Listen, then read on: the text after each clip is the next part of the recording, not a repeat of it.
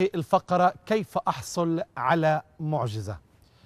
أول شيء لازم أدرك طبيعة الله. طبيعة الله المحبة العطاء البذل. وأن الله أعلن عن ذاته أنه هو الرب شفينا. وأنه يريد أن يشفي ويرغب في الشفاء. ونحن طبعا نؤمن بإله قادر على الشفاء. فالكتاب المقدس مليء بالمعجزات. من العهد القديم إلى العهد الجديد الله لا يتغير ولن يتبدل حتى مجيء المسيح. ثانية سوف تبقى المعجزات. فلازم أدرك إنه الله بحبني. الله عنده مخطط لحياتي. الله بيهتم فيي. الله كما يقول الكتاب إن يجعل اعدائك يسالمونك.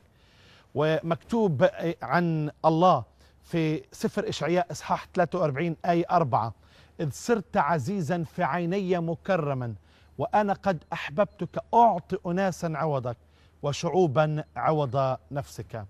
تذكر أن الله طبيعته هو بحب يقدم وبحب يشفي وبحب يعمل دائما لخير البشر.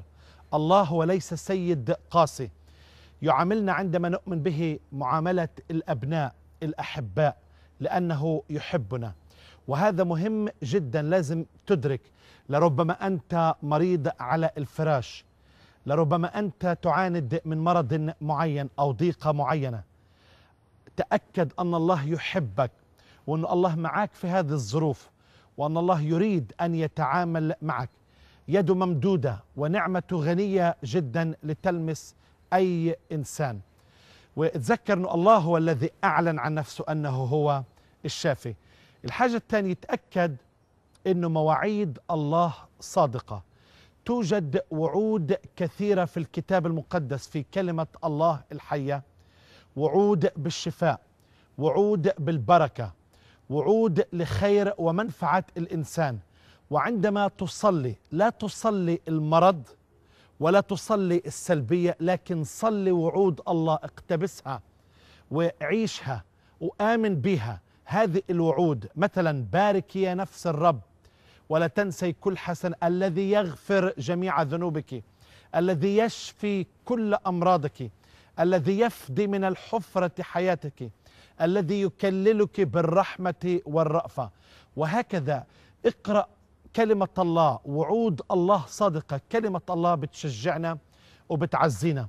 لما أنت بتثق في طبيعة الله المحبة وتتذكر أن الله أعلن عن ذاته أنه هو الشافي وأن مواعيده صادقة الشيء الطبيعي والتلقائي عندما تصلي الله يتفاعل ويتجاوب ويتواصل مع احتياجاتك ومع صلواتك.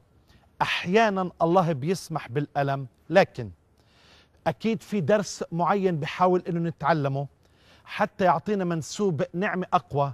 ويعلمنا أن نعمته في هذه الحياة في برية وغربة هذه الحياة تكفينا وتكفلنا لكي نواصل بقوة حتى نعيش للرب.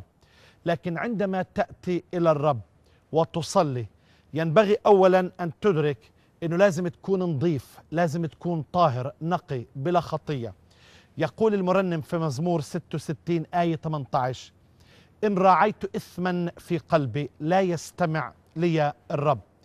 ثم عندما تأتي للرب بالصلاة ينبغي أن تأتي بإيمان ليطلب بإيمان غير مرتاب البتة لأن المرتاب يشبه موج من البحر تخبطه الريح.